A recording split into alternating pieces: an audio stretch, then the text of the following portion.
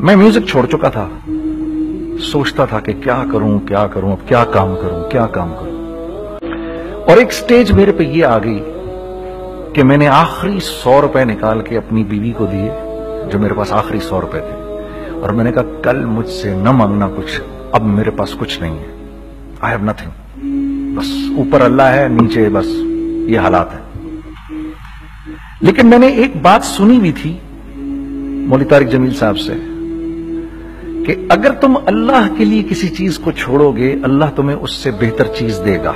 ये मैंने सुनी भी थी ये, ये हदीस के अल्फाज हैं। और मैं थोड़ी देर में कभी कभार सोचता था मैं कहता था यार लोग सही कहते हैं ये मौलवी मरवाते हैं लोगों को। हुँ? मरवा दिया मुझे?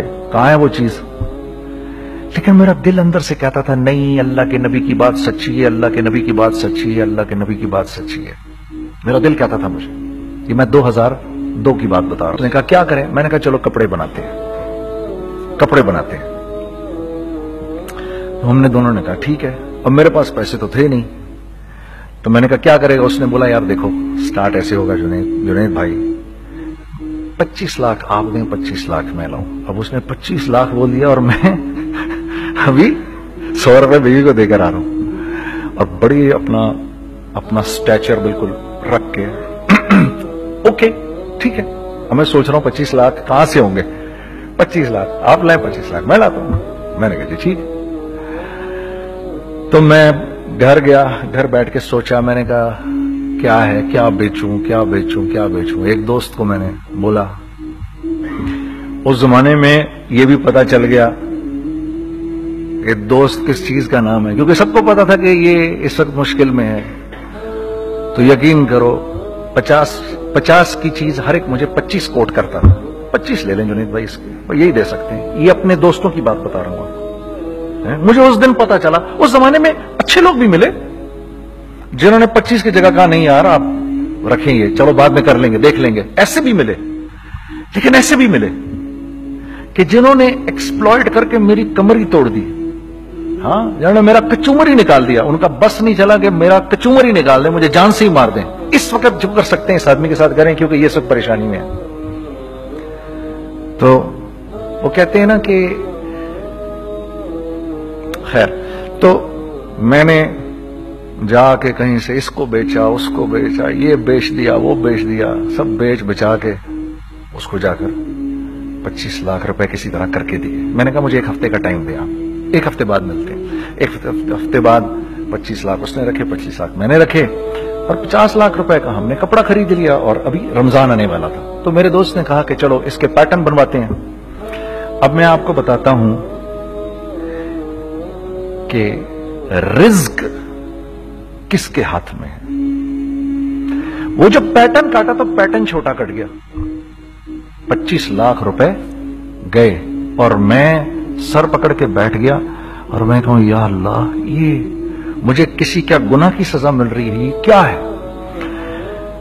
कि हम दोनों बैठे हुए, उसने भी सर पकड़ के बैठा हुआ, मैं भी सर पकड़ के बैठा हुआ। वो तो खैर अमीर आदमी था, थोड़े उसके पास तो पैसे थे। मैंने उसको,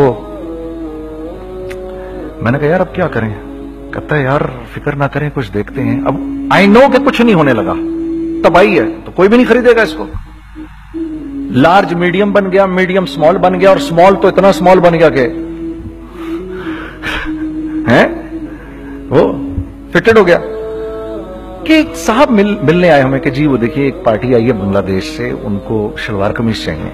लेकिन जुनेद भाई उनकी रिक्वेस्ट है पैटर्न थोड़ा छोटा कर दें। मैंने कहा यार देखो तुम्हें पता है छोटा पैटर्न जरा मुश्किल से कटता है।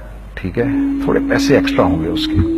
उन्होंने कहा हाँ हाँ वो पैसों का तो कोई मसला ही नहीं उनको तो बस शलवार कमीज चाहिए पाकिस्तान से। हमने कहा ठीक है आप दो दिन बाद आके ले लीजिए। तो जो चीज़ अल्लाह माफ़ करे, आज जो आप लोगों से शेयर कर रहा हूँ, जो चीज़ पाँच सौ रुपए की बेचनी थी, वो छह सौ रुपए की बेच दी। जो चीज़ पूरे महीने बेचनी थी, दो दिन में बेच बाज के, पूरे रमज़ान जो बेचना था, सब बेच बाज के बैठ गए दोनों के। अब क्या करें? सब बिक गया और पैसे आ गए। तो अब मैं ये देख रहा हूँ कि ये कुछ अल्लाह का क्या अजीब निज़ाम चल रहा है। तो मैंने उसको अपने साथी से कहा, देखो तुमने मेरे साथ आगे भी काम करना है या बस एक यही काम करना है? उसने कहा मैंने आपके साथ आगे भी काम करना है। मैंने कहा तो चलो फिर, मुफ्ती तकी उस्मानी साहब के पास। उनसे पूछो, हम काम करें तो किस तरह करें? हम दोनों मुफ्ती तकी साहब के पास पहुँच गए। मुफ्ती साहब के पास बैठे। अच्छा मैं मुफ्ती साहब से मेरा ताल्लुक था। इनको भी जानते थे मुफ्ती साहब। तो मुफ्ती साहब कहने लगे, भाई, तीन काम करो। पहला काम ये लिखो ये कारोबार खत्म कैसे होगा? ये जे डॉट खत्म कैसे होगा? ये लिखो पहले। दूसरा काम, पहला काम ये सबसे आसान है। अब इससे और मुश्किल काम। वो ये कि अजम करो इस बात का, एक दूसरे को धोखा नहीं दोगे। तुम दोनों। ये उससे मुश्किल काम। कहा, और अब तीसरा सबसे मुश्किल काम, ये नियत करो कि इस कारोबार से तुमने लोगों को नफा पहुंचाना है, फ़ायदा पहुंचाना है। अगर ये तीन काम तुम लोगों ने कर लिए तो तुम दोनों का तीसरा पार्टनर अल्लाह हो जाएगा। हम्म तो जिसका पार्टनर ही अल्लाह हो जाए, उसे कारोबार करने की क्या ज़रूरत है? उसको तो आके आईसीएमए के अंदर बातें करनी चाहिए, दुनिया जहान की। हम्म मैंने ये कर लिया, मैंने वो कर लिया, मैंने फला कर लिया, मैंने डिमकान कर लिया। हालाँकि किया कराया कुछ भी नहीं। तो सबसे पहला काम ये किया हमने। मैंने उसको बोला, कुरान पे हाथ रख के देख। अल्लाह ने चाहा, मैं तुझे कभी धोखा नहीं दूँगा। उसने कहा, अल्लाह ने चाहा, मैं भी आपको कभी धोखा नहीं दूँगा। ये आज से पंद्रह साल पहले की बात है। फिर दिनों रात बैठकर हम ये सोचते थे कि हम लोगों को फ़ायदा कैसे पहुंचाएँ। हमने एक कपड़ा बनाया। वो कपड़ा कॉटन का सबसे पहला काम जो हमने किया, वो ये किया कि ये जो मरावा एक निज़ाम था खड़ियों का, इसको ज़िंदा किया। जिसकी वजह से तकरीबन तकरीबन दस हज़ार लोगों की जॉब्स लग गई। एक डाइंग आर्ट था बिल्कुल। वो औरंगी टाउन में जाकर पकड़े हमने पुराने बाबे। उनको बुलाया, तुम आओ, ये खड़ियों का कपड़ा बनाओ। ये खड़ियों का कपड़ा ऐसा ही है जैसे हैंडमेड शू और हैंडमेड क्लॉथ ठीक है ना? मैं कसमन कहता हूँ कि अगर आपको मैंने एक दफ़ा आपने मेरा कुर्ता पहन लिया, जो खड्डी का बना हुआ है हो नहीं सकता कि दूसरा कोई कुर्ता आपसे पहना जाए उसके बाद। वो ऐसे जिसम से मुलायम तरीके से जिसम पर आकर लग जाता है। उस कपड़े की हम मुँह मांगी कीमत ले सकते थे। आज अल्लाह को हाजिर नाजिर जानकर कह रहा हूँ, हमने ऐसा नहीं किया। हमने ऐसा नहीं किया। हम चाहते तो क्या कर जाते, लेकिन नहीं किया हमने। ठीक है? पहला काम। हमने कहा और दो लोगों को, और दो लोगों को, और दो। लोग पसंद करेंगे, कोई नहीं कोई नहीं कोई नहीं। मैं आपको ऐसी सैकड़ों मिसालें दे सकता हूँ कि हम क्या कर सकते थे, हमने क्या नहीं किया, सिर्फ़ इस तीसरे पॉइंट को सामने रखने के लिए। वो तीसरा पॉइंट क्या है? लोगों को नफा पहुंचाना। क्योंकि हम नहीं चाहते कि हमारा तीसरा पार्टनर हमको छोड़ के चला जाए। मैं आपको क्या क्या बताऊँ? तीसरे पार्टनर ने क्या क्या कुछ किया?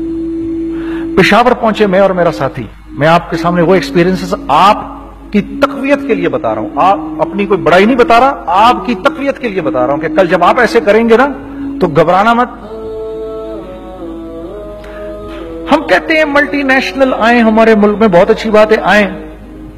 इसमें क्या है? लेकिन यार, हम में खुद में क्या कमी है? आप मुझे ये बताओ। हम सीधे हो जाएँ, खुदा की कसम, ज़रूरत नहीं हमें किसी मल्टीनेशनल की। क्योंकि हमारा हमारा दिमाग जो है ना, हमारा दिमाग तो इतना तेज है, इतना तेज है, देखो ना, बेईमानी करके हम कितना कुछ कर लेते हैं। तो अगर इसी दिमाग को सीधा चलाएँगे तो क्या करेंगे? आप देखिए, चक्करबाजियाँ चक्कर दे देकर हम क्या क्या कुछ नहीं कर लेते। अगर ये दिमाग सीधा चले, पाकिस्तान, अरे भाई, भूल जाएँगे लोग, जापान को और कोरिया को। भूल जाएँगे लोग। अगर वल्लाह यकीन करो, अगर हम इस एक बात को सामने रख लें, मुझे मेरा अल्लाह देख रहा है। अल्लाह मुझे देख रहा है। मैं नहीं कर सकता। दुनिया को नहीं पता क्या हो रहा है। मैं आपको बताऊँ हमें क्या सिखाया गया है? अगर मैं आज आपको बताऊँ तो आप हैरान हो जाएँगे कि यार तू पागल है। मेरे नबी ने क्या बोला? देखिए, मैं सर की गाड़ी खरीदने आया। उनकी गाड़ी मुझे बहुत अच्छी लग रही है। अब पहला क्या काम क्या करूँगा? इनकी गाड़ी की बुराइयाँ शुरू कर दूँगा। सर, ये तो इसके तो इधर भी इधर डेंट लगा हुआ है, इसके तो उधर भी वो लगा। अच्छा पहले क्या होगा? पहले ये थोड़े से डिप्रेस होंगे, फिर इनको गुस्सा आना शुरू हो जाएगा, फिर ये ठंडे हो जाएँगे, गुस्सा नहीं खाएँगे, फिर ये कहेंगे, इसको मेरी गाड़ी पसंद है, अब तो मरता मर जाए, मैं इसकी कीमत कम नहीं करूँगा। ठीक? आप सल्लल्लाहु अलैहि वसल्लम ने इस बात से मना फरमाया। कभी मत करो ये।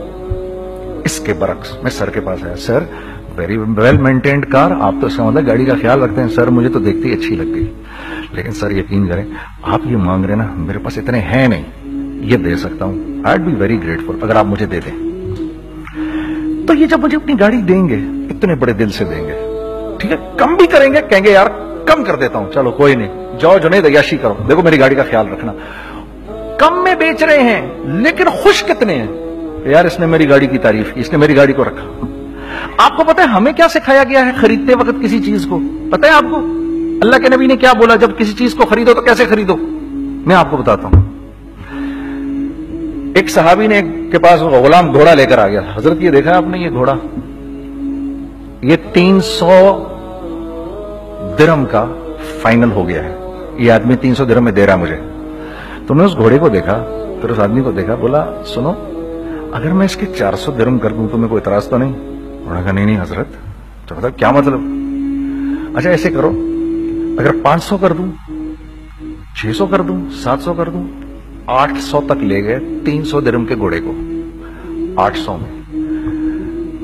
तो गुलाम भी पागल हो गया और वो बाहर भी समझा कि ही अ क्रेजी मैन तो उसको 800 दिरम दिए। यार, ये रख ले, ये रख ले, और ये घोड़ा मुझे दे दे। गुलाम ने कहा, सर क्या किया ये आपने? कहा बात यह है कि मेरे नबी ने मुझे ये बात बताई कि अगर कोई चीज़ खरीदने लगो तो अगर उसकी कीमत कम हो तो तुम कम कीमत मत देना। उसकी हत्तुल इम्कान जितने तुम्हारे पैसे हो ना, जितने दे सको, उसकी वो कीमत देना। ये मुझे मेरे नबी ने सिखाया। ये था हज़ार दिरम का। मैंने तो 200 दिरम कम दिए। हम्म? ये मिजाज हमें सिखाया गया। ये मिजाज हमें सिखाया गया और इस मिजाज की बुनियाद पर क्या हुआ कि उमर बिन अब्दुल अज़ीज़ के दौर में ऐसे आदमी जक़ात लेकर खड़ा होता था, कहता था, भाई, कोई ले ले जक़ात।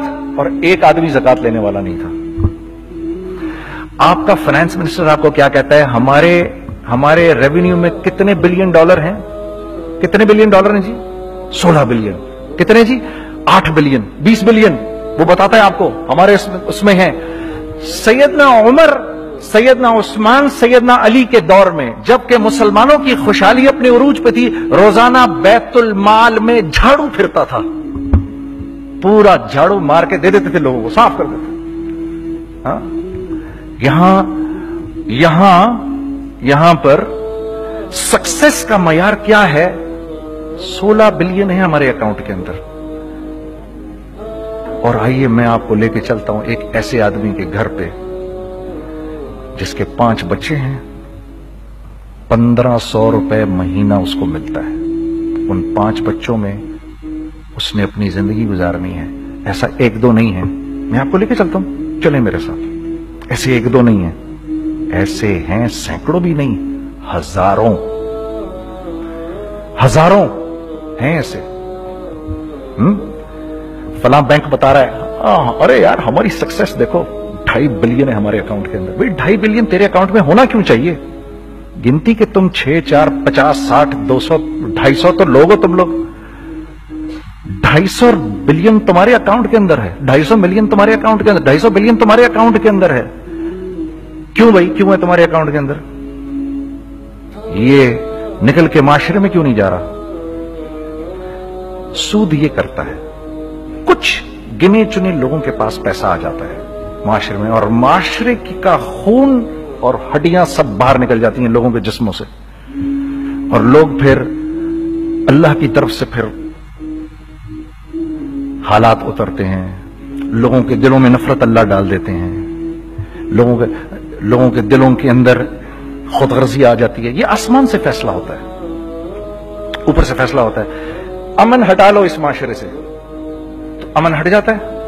खौफ का लिबास पहना दो इनको। तो खौफ का लिबास पहना दिया जाता है। हर आदमी खौफ में डर रहा होता है। डर रहा होता है बस।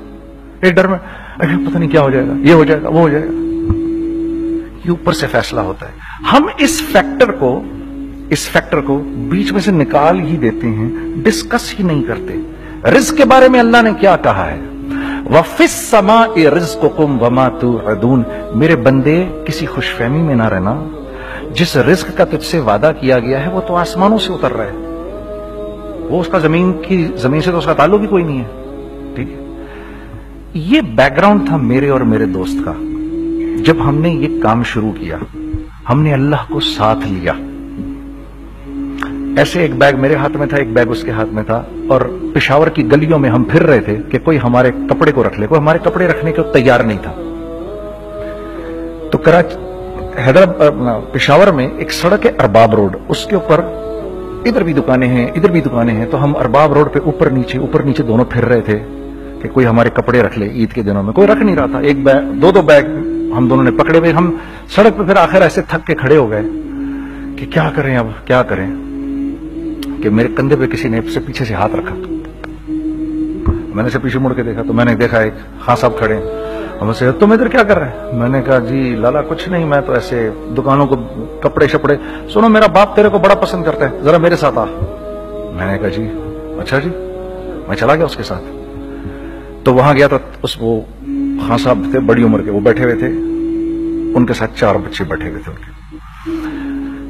तो वो मुझे देखकर कहते हैं, तूने गाना छोड़ दिया? मैंने कहा, जी, मैंने छोड़ दिया। पक्की बात है। मैंने कहा जी, पक्की बात ही है। अब तो कपड़े लेके बेच रहा हूँ आपके सामने। ये दुकान देख, ये चाहिए तेरे को? एक डबल स्टोरीड बड़ा सा एक प्लाजा टाइप एक बड़ी दुकान। अब मेरी औकात तो पच्चीस हज़ार रुपए महीना देने की भी नहीं थी। खड़ी, और वो हम, मुझे बुज़ुर्ग कह रहे हैं, ये पसंद है तेरे को? अच्छा और in the heart of Arbab road in the heart of Saddar Peshawar यानी जो सड़क से वहाँ से एंटर करेगा, सबसे पहले उसको ये दुकान नज़र आएगी। मैंने कहा, बुजुर्गवार, मैं पसंद तो बहुत है, लेकिन मेरी तो औकात ही नहीं इसको खरीदने की। नहीं नहीं, अपने मुँह से बोल क्या देगा इसके? मैंने कहा, हज़रत, आपने पहले कितने में दी हुई थी? पहले मैंने ढाई लाख रुपया महीना में दी हुई थी। मैंने कहा, लो जी मुक गई गाल फिरते। है जी, ढाई लाख में दी हुई तो मैं कम करते करते भी एक लाख बोलू, मैं एक लाख भी नहीं दे सकता। अरे, कुछ तो बोल अपने मुँह से, कुछ तो बोल अपने मुँह से। बैठा बैठा बैठा मैं। अच्छा पैंसठ हज़ार दे सकता है? मेरी सांस में कुछ सांस आई। मैंने कहा, जी, पचास हज़ार दे दूँगा। डन वो मल्टी स्टोरीड दुकान, उसने मुझे और मेरे पार्टनर को दे दी, जबकि हम दोनों ऐसे बेवकूफों की तरह उसको देख रहे और ये बैग पकड़े हुए हमने। कि यार, ये दुकान हम दोनों की। और दड़ा दड़ हमने उसमें सामान भरा मैं क्या बताऊँ? आज भी अरबाब रोड की पिशावर की सबसे खूबसूरत दुकान है अगर आप कभी जाएँ, वहाँ पर तो आप देखेंगे। वो जो जुनेद जमशेद की, वो वाली वो वाली शॉप है। मैं आपको अल्लाह का निज़ाम बता रहा हूँ, हमारे साथ चला कैसा? वो हुआ